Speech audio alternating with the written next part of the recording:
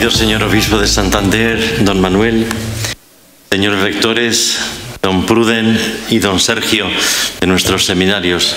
Saludo también al director del Instituto Teológico, señor vicario, sacerdotes, diáconos, seminaristas, señoras y señores, hermanos todos.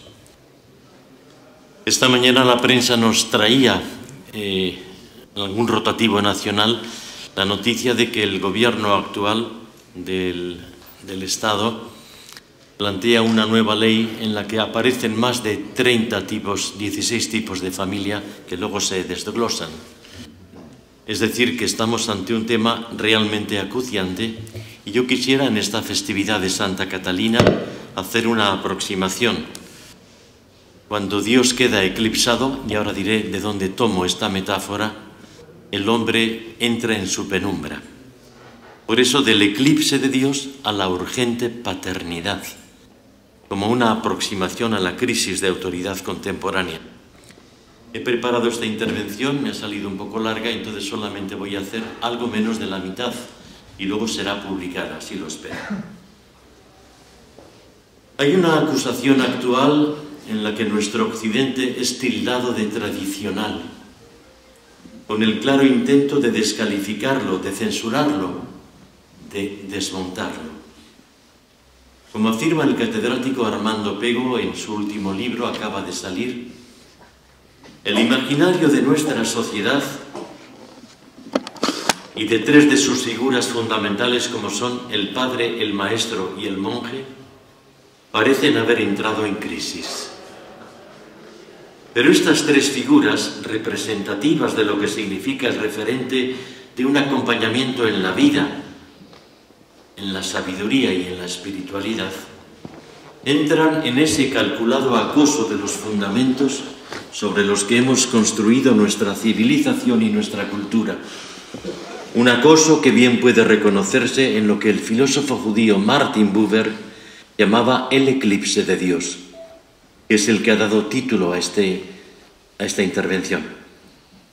Desplazar a Dios, orillar al Padre, banalizar al maestro o reprobar al monje, al sacerdote, es lo que introduce esa crisis de autoridad en nuestro momento actual, con devastadoras consecuencias que nos deja vulnerables y sobre todo manipulables. Pero este trasiego tiene varias connotaciones transversales que pueden explicar justamente la cuestión es un dato fenomenológico contemporáneo la insistencia en, la que una batalla, que en, la batalla cultural está ahora mismo en curso, nos tiene sorprendidos. Y esta insistencia es la del feminismo radical que por doquier aparece en tribunas políticas imponiendo una corrección que no admite ninguna disidencia. Te pueden incluso detener o en legislaciones de trama ideológica en las que se cercena la antropología, o en lenguajes inclusivos que terminan siendo excluyentes. Más bien podríamos hablar, más que de un feminismo, de un embrismo que ha declarado la guerra al machismo, pero cuando el embrismo plantea privilegios de la mujer sobre el hombre en busca de una igualdad justiciera, Estamos en un callejón sin salida, abocado al mismo fracaso antropológico de una dialéctica absurda, estéril y nociva.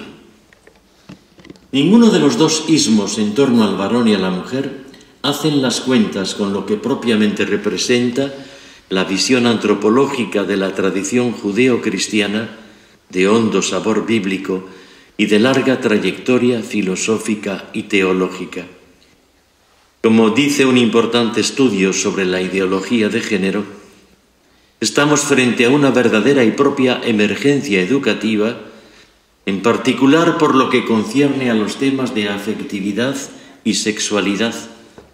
En muchos casos han sido estructurados y propuestos caminos educativos que transmiten una concepción de la persona y de la vida pretendidamente neutra, pero que en realidad reflejan una antropología contraria a la fe y a la justa razón.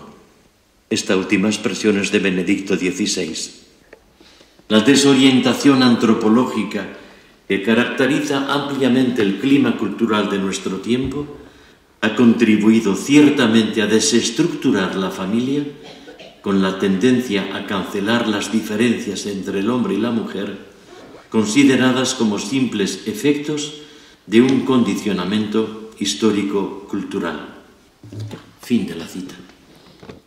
En este escenario sociocultural vivimos en una sociedad donde el padre ha entrado en preocupante medida, ha sido en preocupante medida excluido.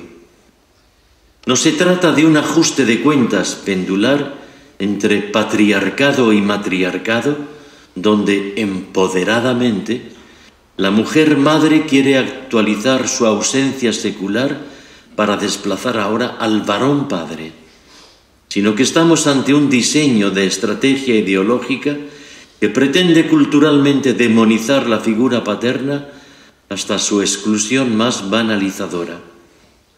Son rastreables las matrices hegemónicas de este desplazamiento, las opciones teóricas y prácticas que se van introduciendo en el mundo legislativo, educativo y social.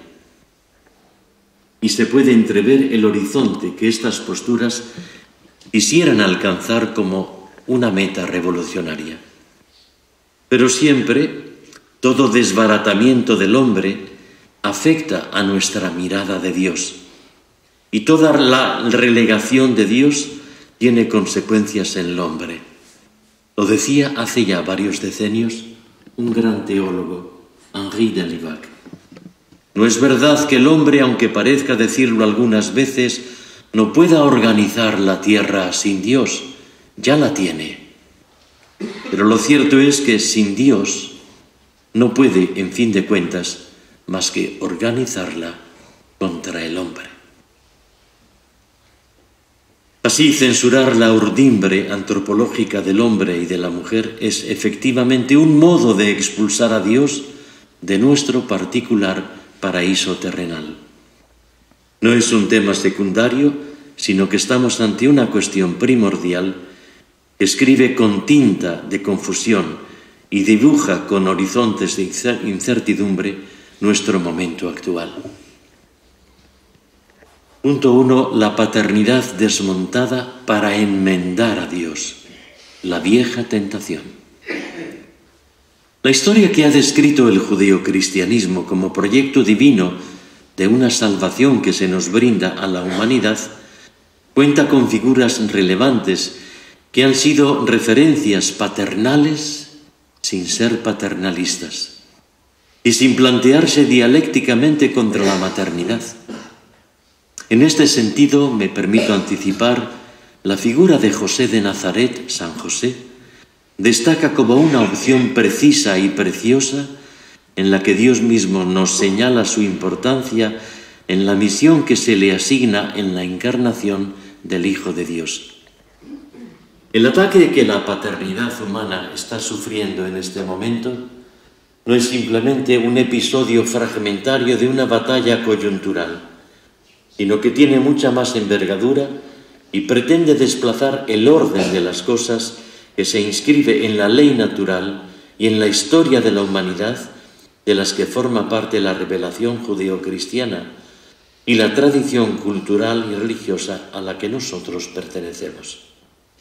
Quienes pretenden deconstruir esa historia imponiendo ideológicamente una alternativa desde un nuevo orden mundial, sabe que ha de tocar los grandes núcleos que representan la vida, la familia y la educación.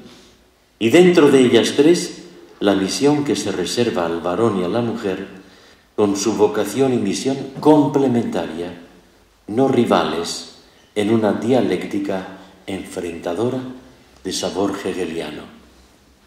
Estamos inmersos en una serie de ataques frontales de gran calibre, con toda una serie de herramientas ideológicas que despliegan una indudable influencia desde el apoyo político y mediático que diseñan culturalmente lo que de modo profético ya escribieron hace más de un siglo, hace más de un siglo, Vladimir Soloviev y Robert Hack Benson. También analistas contemporáneos nos permiten ver el entramado cultural y político que se persigue para transformar el mundo que participa de los valores occidentales, es decir, Roma y el cristianismo, con toda una estrategia pretenciosa de alumbrar el famoso nuevo orden mundial. A pie de página, con un abundante aparato crítico, voy citando autores con los que he estado en, diálogo para escribir esta conferencia. Pero la vieja tentación del hombre ya estaba señalada en el libro del Génesis y consiste en querer ser como Dios. En este relato del diálogo en torno al pecado original, aparece la vieja tentación del hombre que es ser como Dios, al menos pretenderlo. Cada uno sabe después qué fruta prohibida consume, o qué torre de Babel indebida levanta, o ante qué becerros de oro de falsos dioses se postra. Pero cada persona y cada generación ha descrito su particular tentación, a veces claudicando, de intentar ser como Dios. Y siempre se da esta posición desplazadora de Dios en nuestra vida, siempre que se da, no solo Él queda al margen, sino que también el prójimo más próximo se percibe como extraño, como rival, y la misma vida se torna hostil y lacerante. Son las tres heridas que se facturan en esta vieja pretensión de querer ser como Dios. La historia de la humanidad representa el viaje de vuelta desde que salimos de aquella casa que tenía forma de jardín en el Edén de la primera mañana. Aquella belleza y aquella bondad quedaron trucadas y truncadas por un pecado de origen cuando el hombre porfió al mismo Dios queriendo ser como Él, como colega que con Él mercadea en vez de hijo que agradece. Ante la belleza manchada y la bondad envilecida, Dios no se fue a otra galaxia para probar mejor suerte con otras criaturas debidas también a sus manos creadoras, sino que contra todo nuestro pronóstico, se quedó con nosotros, reconstruyendo nuestra historia maltrecha y malherida. Siglos y siglos de compañía haciéndonos ver el viejo sueño del inicio que el hombre cambió en fatal pesadilla, rehaciendo lo que torpemente se había desbaratado en aquella triple ruptura a la que ya me he referido, de la que nos habla el libro del Génesis. Triple ruptura porque Dios dejó de ser el amigo que cada tarde venía a hablar con el hombre y la mujer a la hora de la brisa y tuvo que esconderse de Dios, tapando las vergüenzas cuando perdió el pudor de su inocencia. Pero no solo se rompió la relación con Dios, sino con el prójimo más próximo, aquel que se le dio para salir de la nociva soledad solitaria. Adán y Eva dejaron de ser complementarios y empezaron a ser rivales alcahuetes de la mentira y del engaño. Y la tercera ruptura correspondió a la misma vida como tal. Esa que el texto bíblico dibuja en términos de sudor en la frente de un varón trabajador o en términos de dolor en la mujer cuando el parto de la vida. Tres rupturas, pues, que ponen fatiga e incertidumbre en la historia que a partir de ese momento se inaugura. Ser como Dios es la pretensión de creer que yo lo sé todo, o que lo tengo todo, o que lo puedo todo. De modo que puedo prescindir de lo demás, de los demás y hasta del mismo Dios, en una afirmación grosera de una prepotencia contraria del todo a la virtud de la pobreza que Jesús vivió y reconoció.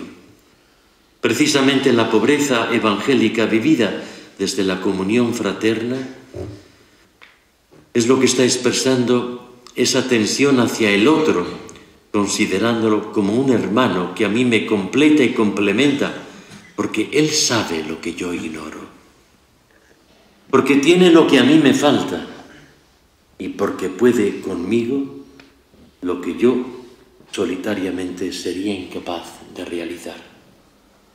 Es decir, una persona que se autoafirmase como Dios, como Dios con minúscula, no tendría nada que aprender, ni compartir, ni pedir, porque en la ficción de que ya se, se autoabestece por y de sí mismo, todo lo sabe ya, todo lo tiene ya, todo lo puede ya, de una manera engañosa. Y este es el origen de todos los enfrentamientos entre los hombres, lo que da como resultado todas las imposturas e intolerancias que en el mundo han sido. Dos, el eclipse del Padre como crisis de humanidad. No estamos ante un intento puramente curioso e inicuo, ante un ensayo neutro de propuesta social y antropológica, sino ante una ideología cuya hoja de ruta es bien precisa, que desde la modernidad ilustrada en adelante han pretendido toda una catarata de autores no tanto combatir por los derechos humanos del pueblo, sino por los derechos divinos del hombre. Como recuerda Rémy Braque en su excelente ensayo sobre la génesis y el fracaso del proyecto cultural moderno. Hay una concomitancia entre el eclipse de Dios y el eclipse del Padre. Y parece que quien quiere desbancar a uno, lo hace también el otro. Interesante apreciación que radiografía el talante narcisista que hace imposible una apertura a lo demás y por ende una esperable fecundidad, porque esta actitud siempre es estéril. El replegamiento inmaduro sobre sí mismo empuja a la esterilidad en todos los ámbitos de una persona así de enrocada en su propio devenir egoísta. Es así que se proyecta sobre Dios lo que no, deja de ser nuestro propio horizonte, nuestra convicción moral y los ensueños que podríamos albergar en un corazón que se condena a la mezquindad. Parece el triunfo del pensamiento de Ludwig Feuerbach, que nos aseveraba con sus propios matices que Dios no es más que una proyección del hombre. Aparentemente, parece que Feuerbach ha triunfado. Vemos, pues, cómo estamos ante una realidad coyuntural en la que se concitan tantos factores culturales en los que la figura del Padre queda marginada por tantos flancos, coincidiendo, coincidiendo esta batalla con el acoso antropológico de quien pretende atacar al hombre descartando a Dios y atacar a Dios excluyendo al hombre.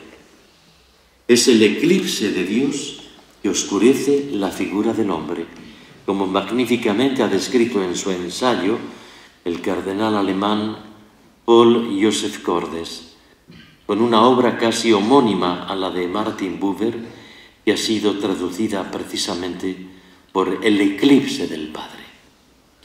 El periodista alemán Ulrich Schwarz hacía una interesante recensión de esta obra de Cordes en el semanario alemán Der Spiegel, indicando que el cardenal Cordes no ha querido ofrecer un vademecum práctico sobre cómo se convierte uno en buen padre, sino que ha querido ir más al fondo, llevando al lector a reflexionar sobre los aspectos esenciales del ser padre hasta la gran, hasta la gran pregunta que él se hace la paternidad, ¿qué tiene que ver con la fe? La paternidad, ¿qué tiene que ver con Dios? No es secundaria ni indiferente esta relación, como tampoco lo es la propia experiencia humana de la paternidad y de la filiación. Porque tantas veces la inadecuada comprensión y vivencia de Dios como Padre proviene de la tremenda experiencia filial o paternal hemos podido tener en la vida, hasta condicionar fatalmente la propia existencia y su último significado. Valga como ejemplo, y me lo vais a permitir, la historia que un escritor español, Fernando Vidal, reconstruye al efecto en la biografía real de un músico conocido, el Beatle John Lennon. Más allá de sus éxitos musicales, está la dramática experiencia que él tuvo como padre, que él tuvo de su padre, Alfred Lennon, y que éste a su vez tuvo de su propio padre, Jack Lennon, tres generaciones que son el botón de muestra de un desastre. Cómo hay una perversa concatenación que va determinando la vida. Empezó con el abuelo, que siguió con el padre, y que continuó en John Lennon como hijo. Tras el fracaso del primer matrimonio entre John Lennon y Cynthia Powell, del que nacería el infortunado Julian, la crisis paterna ante este hijo marcará el itinerario de malhadada desdicha en todo un fallido árbol genealógico. Será con Yoko Ono con quien intentará redimir esa larga tragedia con el hijo que les nacerá en medio de la deriva de sus vidas, cuando estaban totalmente inmersas y fracasadas a través de la LSD y la heroína, donde nacerá finalmente el pequeño Sin. Al leer este apunte biográfico de un fracaso paternal, que parte en el abuelo, que sigue con el padre y que se prolonga en él como hijo, pude constatar como oportuno y clarificador lo que una jurista española, Blanca Gómez Bengoechea, ha acuñado con enorme agudeza que tanto me impresionó, como una definición de esta realidad que nos asola en este largo tramo de la historia de la humanidad, que es el que a nosotros nos observa, especialmente en el mundo más avanzado de las sociedades del primer y segundo mundo es lo que esta jurista especializada en menores en riesgo ha denominado estamos ante una generación de huérfanos de padres vivos. Atención al apunte. Huérfanos de padres vivos.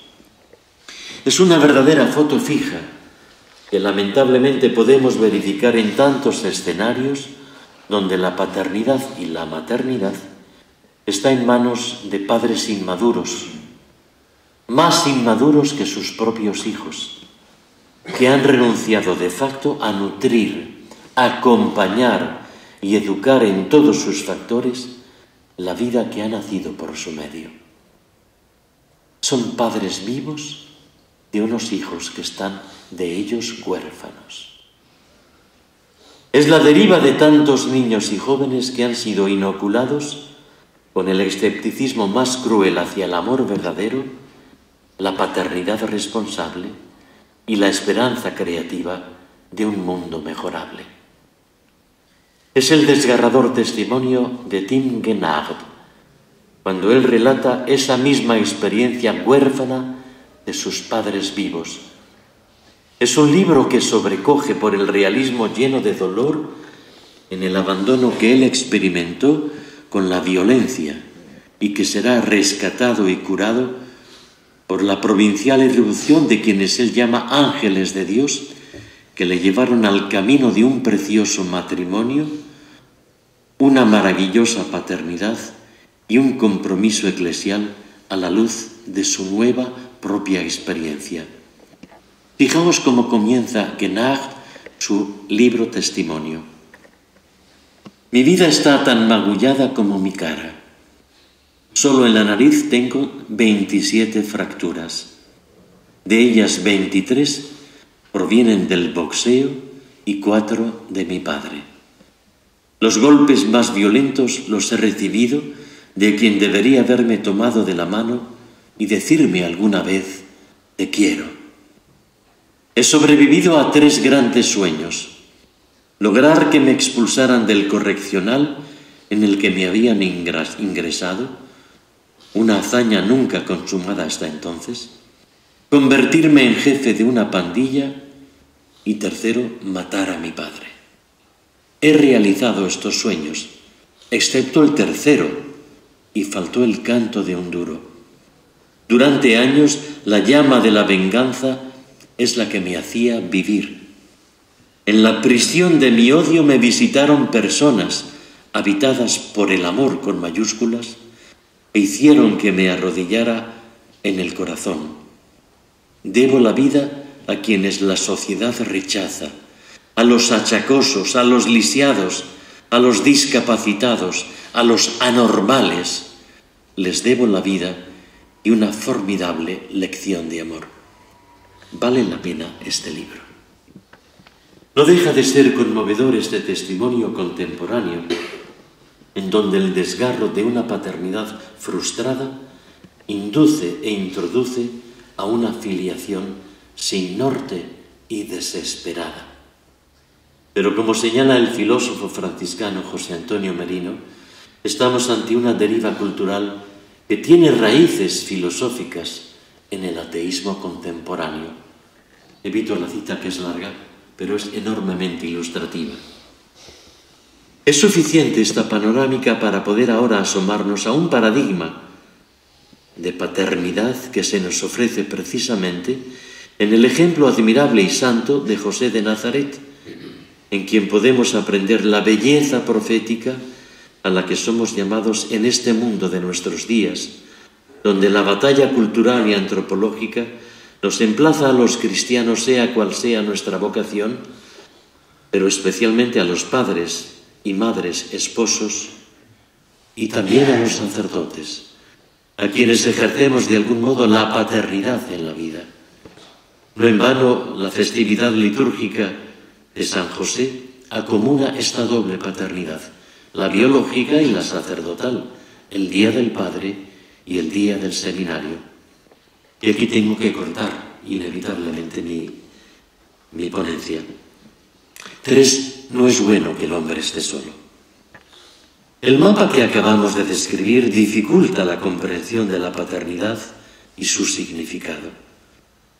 Por eso encontramos en José de Nazaret, San José, un modelo donde esa cualidad aparece de modo paradigmático. En el itinerario humano y religioso de San José hay un dato importante de su paternidad, que no fue monoparental. Aquí tenemos uno de los contrapuntos en los que la praxis actual, en tantos casos, ha introducido este elemento. Separar la paternidad y maternidad no sólo de la relación esponsal entre dos cónyuges heterosexuales, sino incluso separarla de la misma relación antropológica entre un hombre y una mujer. Que para parir la vida no hace falta esta relación entre hombre y mujer. Es decir, la deriva de ser padre o madre fuera del matrimonio y de serlo fuera de la relación hombre-mujer, acudiendo a una procreación y a una consiguiente educación después, fuera de los parámetros que antropológica, cultural y religiosamente nos habían acompañado durante siglos y siglos de andadura humana. Pero habría varios rasgos que, que mostrarían el retablo de la paternidad de San José. Su relación con María, su confianza en Dios y el silencio de aquel taller. Corto de nuevo la historia de amor entre José y María. La primera cosa que podemos decir de la excepcional paternidad de San José es que ésta tuvo un marco preciso, la relación vinculante con una mujer, que luego sería su esposa. Por más que la concepción del hijo y la condición virginal de la madre fueran completamente extraordinarias, milagrosas, no debe distraernos del ámbito en el que esa paternidad será ofrecida, será pedida al artesano de Nazaret el vínculo con su esposa, la formación de una, de una familia, será el modo en el que José tendrá que ejercer su paternidad. Por lo tanto, hay un contexto familiar muy concreto en el que San José ejercerá su función extraordinariamente paterna como educador en el sentido más amplio de la expresión. Este es el significado de la verdadera educación, cuando se subraya la importancia del acompañamiento como un medio educativo integral. No se trata de un adiestramiento de palestra y menos, de menos aún de una violenta domesticación, sino una verdadera educación en el sentido etimológico del término. Acompañar, no suplir, acompañar la mirada de otro en el descubrimiento de la realidad con todos sus matices, poniendo en juego todo lo que interiormente nos constituye, puesto que educar, que viene del latín educere, significa no tanto meter forzadamente en el otro, cuanto sacar con delicada finura lo que Dios puso dentro de él. Y cuando falta esta función de paternidad, se diluye, se diluye, se hace ausente, confusa y ambigua, cediendo a otros la responsabilidad educativa que sólo le corresponde al padre y a la madre, como vemos en nuestros días, según describe Robert Sará en su descripción de la actual situación de decadencia, también entre los sacerdotes. Esta función educativa paternal José la ejerció junto a María, cada cual en el puesto que se les asignó en esta encomienda totalmente decisiva de la historia de la salvación cristiana. Por eso es pertinente un apunte sobre esta condición esponsal paterna vivida por San José junto a Santa María, desde este verdadero perfil de padre que educa. Y aparece en tres momentos de intensa importancia en su biografía humana y religiosa. El momento del concebimiento de María en Nazaret, el nacimiento de Jesús en Belén y el momento de la forzada huida a Egipto. Estamos ante un díptico en donde una doble pareja humana se sitúa de modo tan diverso ante el devenir de la historia de la humanidad. Aquella primera pareja, Adán y Eva, se construyó, construyó su destino desde la afirmación de su desobediencia como una alternativa a la indicación que se les daba. Esta segunda pareja, José y María, que se ofrece y se muestra con una actitud acogedora sin resquicio de cuanto se les señala a la luz de su confiada obediencia. En el plan de Dios, este artesano de Nazaret tendrá una función y una misión singular, como indica Gianfranco Ravasi, donde se salva la profecía de la estirpe del Mesías. Dice Ravasi, así como María era aquella por medio de la cual Jesús nace en el mundo como Hijo de Dios, José es aquel por medio del cual Jesús nace a la historia como hijo de David, es decir, descendiente del famoso rey hebreo, de cuya línea genealógica únicamente se esperaba al Mesías. Dos nacimientos que propician María y José. El milagro aconteció en la entraña virginal de María y a ella se debe el sí que dará cabida al Hijo de Dios en la historia humana pero al mismo tiempo supuso un sobresalto en quien se había prometido a ella en amores verdaderos, sin quemar los plazos ni jugar a la mentira. José amaba a María y tenía pensados los desposorios para algún día, para cuando Dios lo dispusiera, a su providencial manera. Sí, José amó a María, con toda la delicadeza virginal de quien comprendió que su amor no era prohibido, aunque estuvo orientado con todas las consecuencias al Hijo Divino que Dios mismo había puesto en medio de ambos. El gran filósofo católico Jean Guiton escribió un librito delicioso hace ya unos años en el que aborda la cuestión del amor entre José y María. Sus palabras son tan bellas que vale la pena rescatarlas y citarlas con toda su audacia libertad verdadera.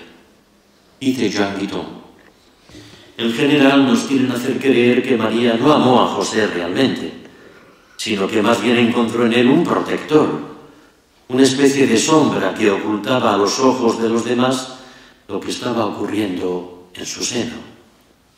De manera semejante, también nos hacen creer que José amaba a María como un patriarca ama a una criatura que le ha sido confiada. Si así fuera efectivamente, el amor no habría tenido lugar en su vida. Pero preguntamos, ¿por qué razón no habría amado José?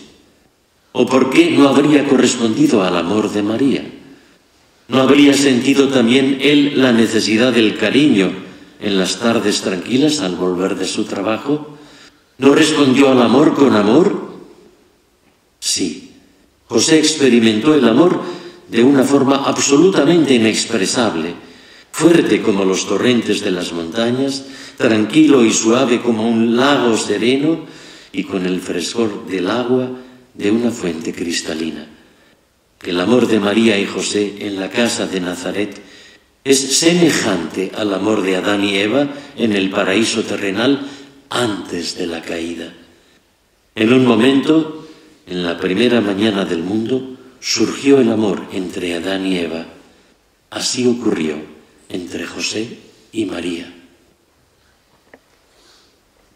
Por eso creemos que hay una fecundidad diferente que no nace de la carne ni del amor carnal, pero que igualmente da frutos desde la paternidad y maternidad espiritual. Y como acabo de señalar, en este sentido, la festividad de San José, en ella pedimos por los llamados a ejercer la paternidad espiritual como sacerdotes y por los que se forman en los seminarios, que un día ejercerán esa paternidad ministerial. También a ellos Dios les confía la vida de, tantos modos como hiciera con San José. No es la gracia que hace en sus manos, aunque sean estas las que la repartan.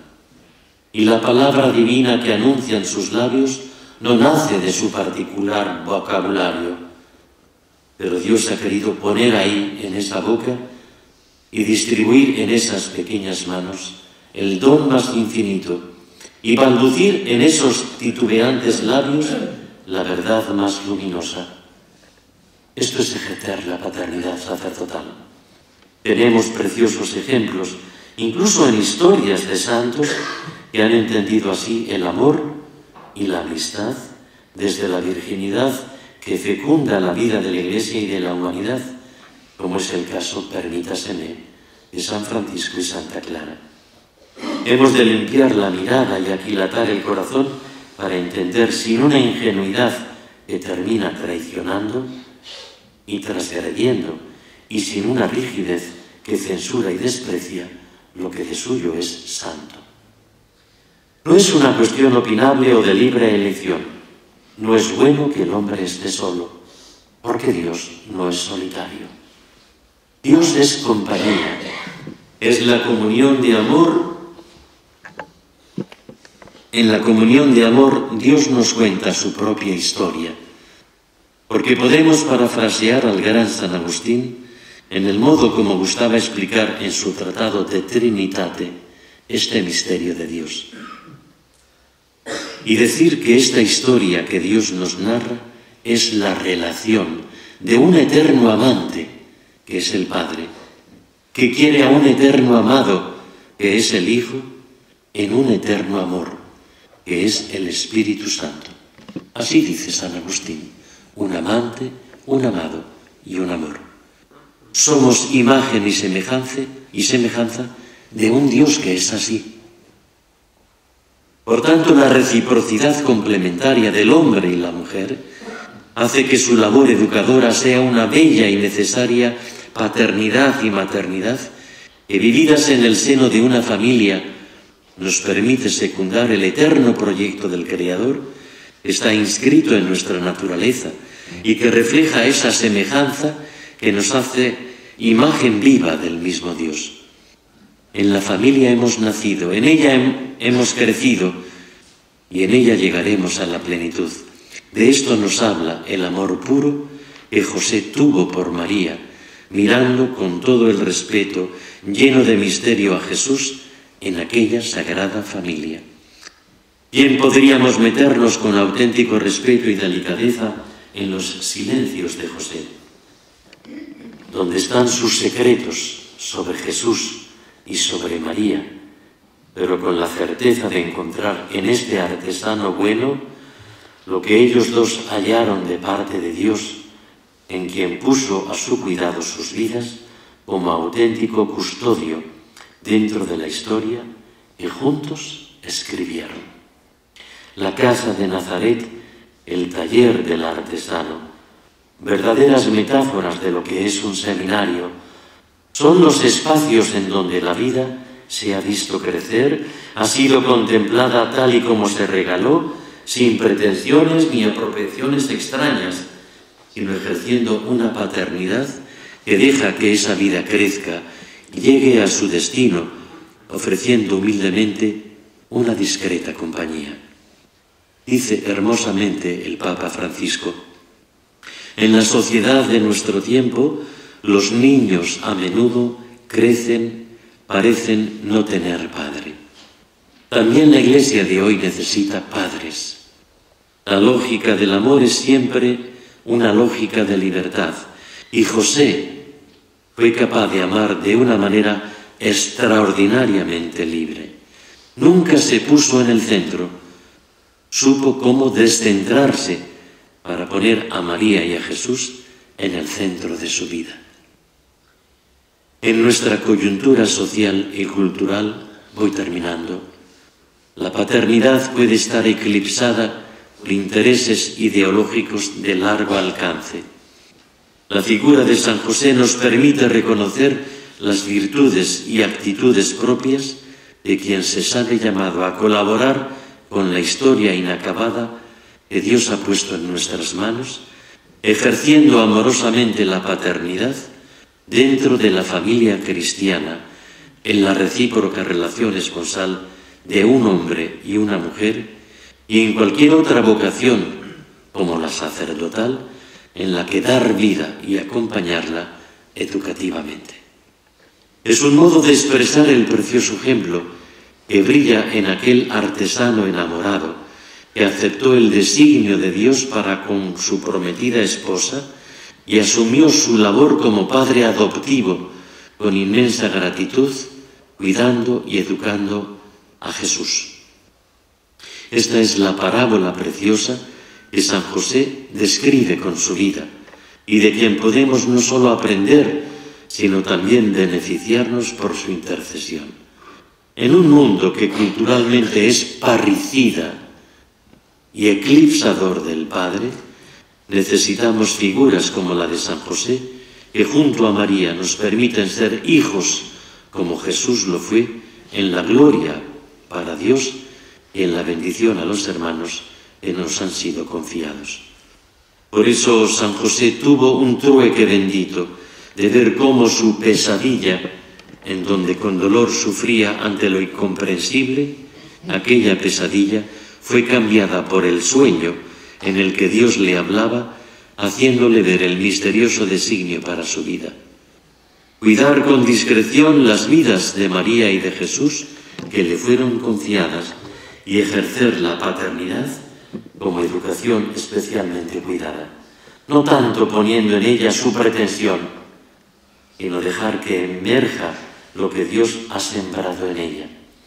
Esta vida y esta educación así cuidadas deberían presidir los espacios educativos cristianos en nuestros hogares familiares, en nuestras parroquias y comunidades, en nuestros colegios católicos, en nuestro ministerio sacerdotal, acompañando a niños y jóvenes, a docentes y a familias con un modelo de verdadera escuela cristiana que bebe de la verdad, se inspira en la bondad y señala la belleza.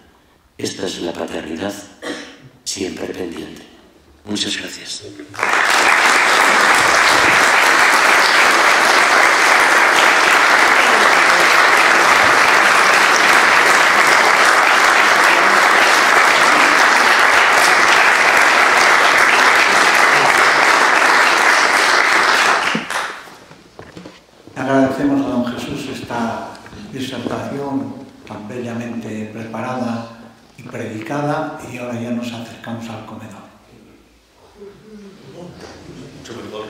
Mm-hmm.